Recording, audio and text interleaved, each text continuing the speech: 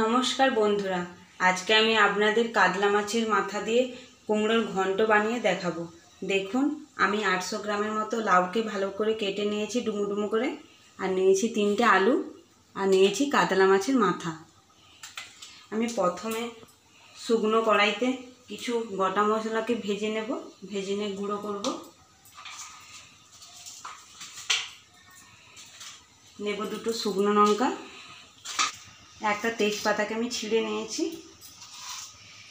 নেব হাফ চামচ পাঁচ ফোড়ন, হাফ চামচ জিরে, গোটা জিরে, আর হাফ চামচ মৌরি। এগুলো আমি ভালো করে শুকনো কড়ায় ভেজে নেব। গোটা মশলাগুলো আমি ভেজে নিয়েছি, এবার নামিয়ে আমি গুঁড়ো করে রেখে দেব। প্রথমে আমি মাছগুলোতে পরিমাণ মতো নুন, হলুদ মাখিয়ে দেব। দিয়ে দিলাম নুন। দিয়ে দেবো হলুদের গুঁড়ো। দিয়ে ভালো করে মাখিয়ে নেব। কড়াইতে আমি রিফাইন অয়েল দিয়ে দিয়েছি। এবার মাছগুলো আমি ভেজে নেব।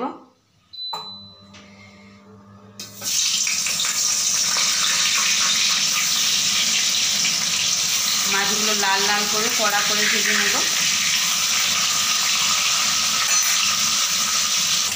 এক পিঠ ভাজা হয়ে গেছে। আমি অপর পিঠটা ভাজার জন্য উল্টে দেবো।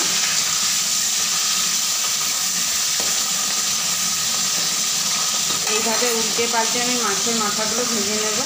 মাছের মাথাগুলো আমি উল্টে পাল্টে ভেজে নিয়েছি। তুলে নেব এবার। মাছ ভাজা তেলেই আমি রান্নাটা করে নেব।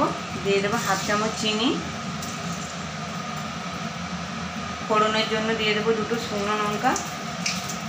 দুটো তেজপাতা কেটে রেখেছিলাম, দিয়ে দেবো। দিয়ে দেবো ওয়ান ফোর চামচ গোটা জিরে। কয়েক সেকেন্ড ধরে ভেজে নেব।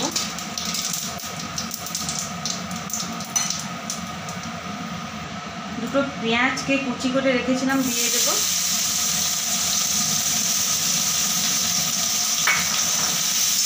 পেঁয়াজটা আমি লাল লাল করে ভেজে নেব।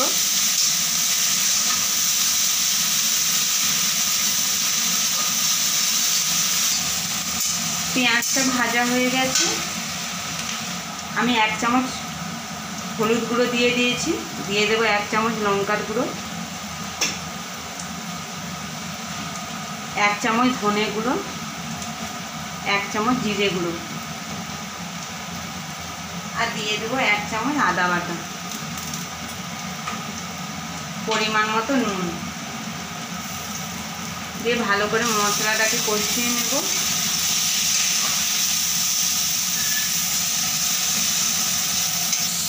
মশলাটা যাতে না লেগে যায়, আমি খানিকটা জল দিয়ে দেবো।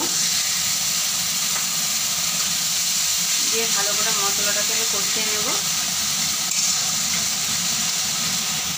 মশলাটা কষানো হয়ে গেছে। লাউগুলো দিয়ে দেব। আর আলুগুলো দিয়ে দেব। দিয়ে মশলার সঙ্গে কিছুক্ষণ ধরে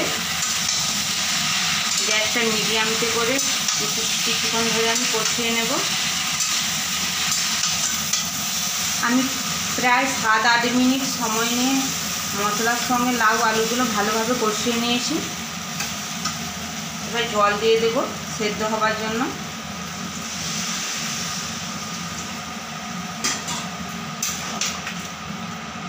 আরও একটু জল দিয়ে দেবো।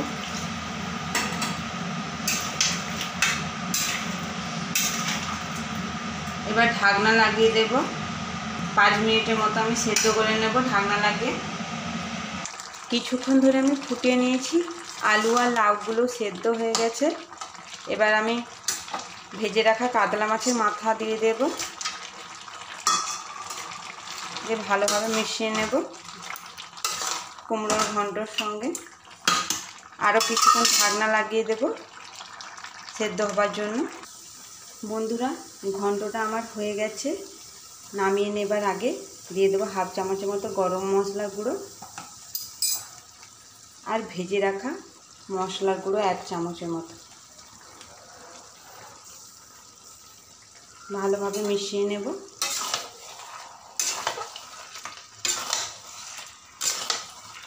এই ভেজে রাখা মশলাটা দিলে